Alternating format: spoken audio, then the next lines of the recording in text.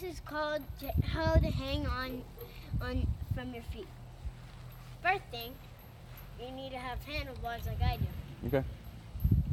Second thing, ugh, this is the first basic thing how to do this. Second thing,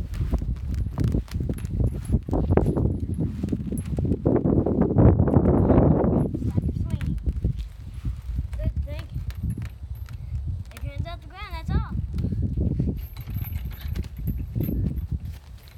Basically it. How hard is that?